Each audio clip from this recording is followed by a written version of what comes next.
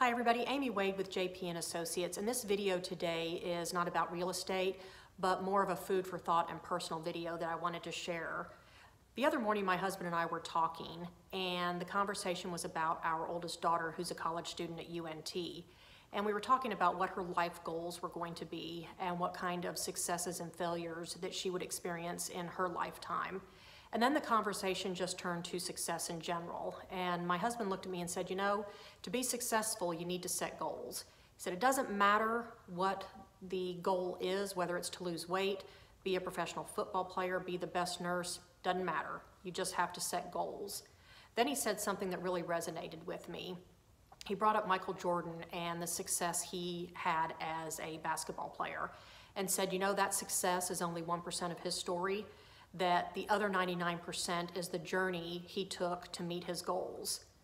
So think of your goals as your journey to success and write your own story. You guys have a great day, and I'll talk to you soon.